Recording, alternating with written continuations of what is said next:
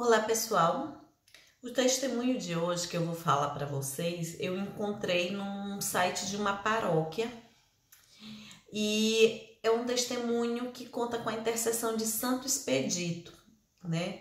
Para aqueles que não sabem, Santo Expedito foi um soldado. Ele, quando ele se converteu, é, ele diz que tinha que buscar a igreja hoje, e apareceu um pássaro dizendo, gritando, cras, que significa em latim amanhã.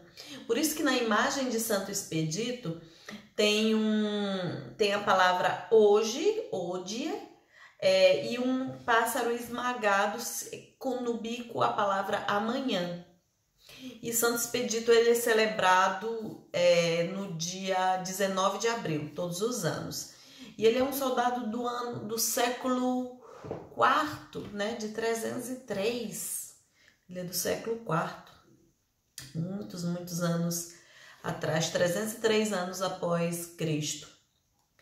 É, então eu vou contar para vocês um, um, desses testemunhos de, um, de uma pessoa que confiou na intercessão, na ajuda urgente, porque ele é considerado santo das causas justas e urgentes. Então, se você está precisando de uma vitória na justiça, se você está precisando que se faça justiça na sua vida por alguma injustiça que você sofreu e você precisa disso para hoje, fala com o Santo Expedito, ele nunca falha, sabe? Assim, ele, a, a intercessão dele junto a Jesus, porque Jesus sabe o quão justo é, ele foi e quem mais justo que Jesus, né? O verdadeiro juiz. Então vamos lá para esse testemunho. Eu faço parte da comunidade de Santo Expedito desde que me entendo por gente. Foi onde fiz a primeira comunhão e me tornei coroinha e posteriormente coordenadora da mesma pastoral. Mas minha história de devoção com o Santo das Causas Urgentes só aconteceu em 2009. Em novembro de 2009, aos 13 anos, fui hospitalizada e durante 14 dias realizei todos os procedimentos médicos possíveis mas nada conseguia explicar as fortes dores abdominais que eu sentia. Lembro dos médicos levantarem hipóteses como pedra nos rins, apêndice e até mesmo tumor, mas nada era muito concreto. Quando nada mais dava resultado, os médicos procuraram meus pais e pediram autorização para realizar uma pequena cirurgia com o auxílio de uma microcâmera. Confesso que fiquei assustada, era apavorante sentir tanta dor e não saber o motivo. Faltando uns dois dias para a cirurgia, eu recebi a visita de uma até então professora minha da escola, que era devota de Santo Expedito. E sabendo da minha cirurgia, me levou um papel com a oração de Santo Expedito escrito. E me disse que, para pedir pela intercessão do mesmo, a, a intercessão de Santo Expedito, no momento da cirurgia, para que Deus guiasse os médicos a descobrirem o que eu tinha.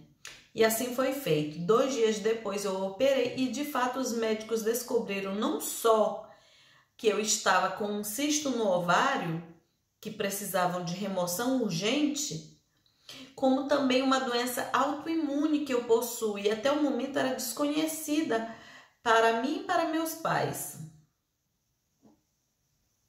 Não tenho dúvidas de que Santo Expedito intercedeu por mim naquele momento. De 2009 para cá, sempre que passo por situações assim, eu sei que alguém que está eu, eu sei e eu sei de alguém que está precisando recorro a Santo Expedito. Foi dessa forma quando prestei o vestibular para a faculdade que eu sempre quis cursar. Foi assim quando, no auge de uma crise no país, eu pedi pela intercessão do mesmo e um dia após eu fazer uma entrevista de emprego, eu consegui o serviço, mesmo não sendo formada na área. Acredito que Santo Expedito sempre está ali para aqueles que buscam por sua intercessão nos momentos de dor, angústia e aflição. É por sua intercessão que conseguimos alcançar as graças mais urgentes, porque Santo Expedito é o santo de hoje, do hoje, aquele que buscou a sua conversão após o encontro com Deus e nele e se nele confiarmos nossa oração, os nossos pedidos serão atendidos. Amém, né? Bonita essa história. Ela precisou no momento da enfermidade que que Deus fizesse com que os médicos descobrissem a doença dela, né, que ninguém sabia, e eles descobriram. E ela pediu para isso pela intercessão de Santo Expedito. Contando uma historinha bem rapidinha, eu me lembro de uma oração que uma vez eu fiz para Santo Expedito. Foi assim, gente, eu era estagiária, né? Isso há, ai, dois mil e bolinhas, sabe? É, e eu era estagiária e eu ganhava naquela época como estagiária 260 reais, que não era muito, porque eu fazia a faculdade à tarde, eu fazia outra faculdade à noite, então o dinheiro do estágio servia para eu pagar o ônibus, a condução, né? O almoço, as xerox, eu digo xerox porque não dava para comprar livro. Então o dinheiro servia para tudo. E aí chegou um tempo de um feriado e eu queria muito viajar com a minha irmã. Muito, muito, muito. A gente estava planejando viajar para um lugar turístico que a gente sempre quis conhecer juntas.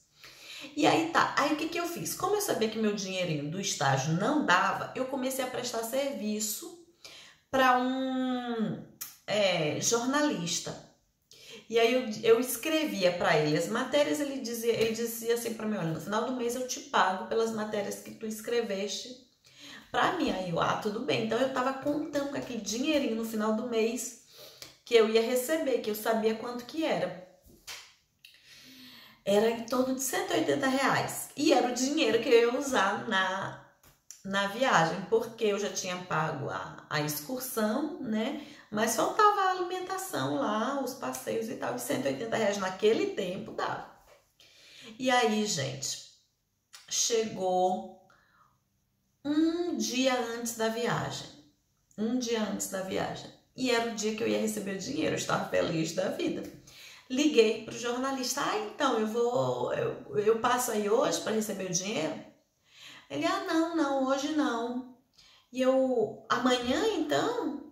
Aí ele, não, eu não vou poder te pagar porque eu tô muito aperreado e não sei o que. Gente, acabou com meus planos, porque a, a, a, a hum, excursão já estava paga e tal. Minha irmã já estava com tudo arrumado, a bolsa, o dinheirinho dela separado também. E eu fiquei, meu Deus, o que, que eu vou fazer? E aí eu sentei na minha mesa, eu não tinha o que fazer. Eu já tinha recebido meu salário, já tinha gasto, né? Era final de mês. E aí eu pensei, eu vou rezar para Santo Expedito, porque ele é o santo das causas urgentes. E se ele é o santo do hoje, ele vai me ajudar hoje, porque ele sabe que eu estou precisando é hoje, não é amanhã. E, gente, eu, peguei, eu tinha um papelzinho na minha bolsa de Santo Expedito. Eu rezei com tanta fé, mas com tanta fé para ele, e eu dizendo, Santo Expedito, eu tô precisando de 180 reais hoje, eu não tô precisando amanhã. Amanhã eu já vou viajar, eu preciso hoje desse dinheiro. E eu não tenho, e a minha irmã vai ficar muito triste se eu não puder ir. E eu já combinei essas férias e não sei o que. Falei. E eu tava com fé, eu tava dizendo, se o senhor é o santo das causas urgentes, o senhor vai me ajudar. E eu dizendo desse jeito. Gente, e eu lá rezando. Quando pensou que não, duas colegas de trabalho minha que trabalhavam lá na, na empresa vieram para mim e me viram rezando, né, na minha mesa, que eu tava na minha mesa, só que eu não, não tava falando, tava rezando na cabeça. Elas disseram assim, Michelle, qual é o problema? Eu disse, não, menina, é porque eu tô para receber um dinheiro e a pessoa não tem como me pagar agora. Nunca me pagou falando nisso, né? Só lembrando. Mas eu perdoei a dívida. Não deixa estar. Aí, aí eu disse para elas que eu tava sem dinheiro e que eu ia viajar no dia seguinte que eu não tinha dinheiro. E elas falaram assim, Michelle, se a gente te conseguir esses 200 reais, resolve? Eu disse, resolve elas. Mas aí tu teria que pagar a gente no mês que vem, tudo bem? Aí eu disse, ah, tudo bem, aí eu vou ter que fazer um esforço extra, né? Mas eu, eu pago. Gente, elas me deram na mesma hora, na mesma hora, tiraram cada uma o dinheirinho, me deram, cada uma das duas. E eu tinha 200 reais. E eu fui pra viagem, foi uma viagem maravilhosa, nos divertimos muito. E depois eu paguei a elas, claro, foi um mês aperreado, 60 reais, né? Mas deu pra pagar a passagem. E, mas foi isso. Quando a gente recorre a Santo Expedito, ele, ele ouve a nossa, a nossa oração. Então, se você está precisando de uma coisa justa e urgente, peça hoje.